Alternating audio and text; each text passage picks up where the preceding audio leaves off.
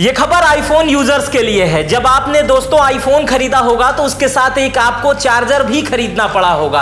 आप सोच रहे होंगे कि चार्जर तो मुफ़्त में मिलता है, लेकिन आईफोन के साथ वो खरीदना पड़ा होगा। आपको ये बात बुरी भी लगी होगी, और उसके लिए जब आप अलग से पैसा दे रहे होंगे तो भी ये बात बुरी लगी होगी, क्योंकि हर कंपनियाँ मोबाइल के साथ चार्जर देती हैं। लेकिन एप्पल ने एक नया फंडा अपनाया था। वो चार्जर भी अलग से बेच रहा था, और ईयरफोन भी अलग से बेच रहा था, जिसके लिए ग्राहकों को अलग अलग पैसा देना पड़ रहा था। लेकिन भारत के किसी मंत्रालय ने इस पर आपत्ति ना जताई। भारत के लोगों ने तो आपत्ति जताई थी इस पर, लेकिन किसी मंत्रालय ने आपत्ति नहीं जताई। लेकिन ब्राज़ील इस पर कड़ा रुख अपनाया है। ब्राज़ील अपने देश में आईफोन बैन कर दिया है। आईफोन एकदम बैन कर दिया है और 18 करोड़ रुपए का आईफोन के ऊपर, एप्पल कंपनी के ऊपर जुर्माना लगाया है कि आप हमारे देश में चार्जर अलग से बेच रहे थे, इसलिए आपको हम 18 लाख 18 करोड़ रुपए का जुर्माना लगाते हैं। यह समय आईफोन के लिए क्रिटिकल है, क्योंकि आईफोन की लॉन्चिंग भी आज होनी थी आईफोन 14 की।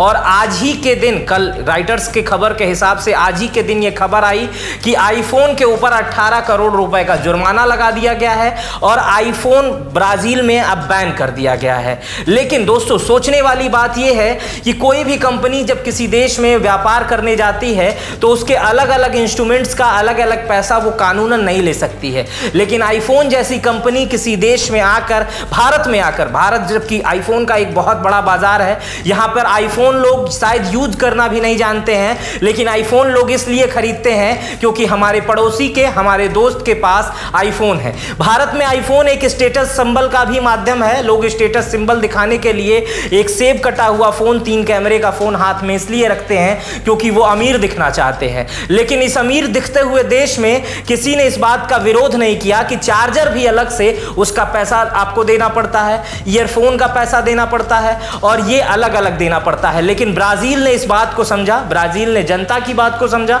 और ब्राज़ील ने आईफोन के ऊपर 18 करोड़ का जुर्माना तो लगाया ही लगाया, साथ में ही अपने देश में आईफोन को बैन कर दिया। अब आप क्या सोचते हैं?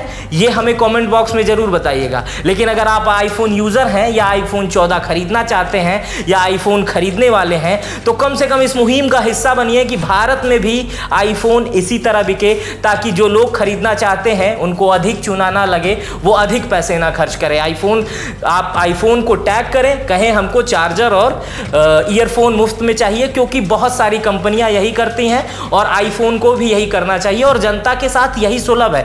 क्योंकि जो भी सामान बाज़ार में उपलब्ध होते हैं, जिसके साथ वो कनेक्टेड रहते हैं, उसका मूल्य एक साथ ही लिया जाता है। जैसे आप गाड़ी खरीदें और गाड़ी का टायर अलग से कहीं खरीदना पड़े और आप, उसका एयरबैग आपको अलग से खरीदना पड़े तो ऐसा नहीं हो सकता। एक साथ असेंबल की हुई चीज़ का एक साथ पैसा होता है, जो एक साथ किसी कंपनी को लेता है। लेकिन आईफोन इसका उल्लंघन करता है और वो हर देश में सुलभ भी पाया जाता है। लेकिन ब्राज़ील ने एक अच्छा कदम उठाया है, जो काबिल तारीफ़ है।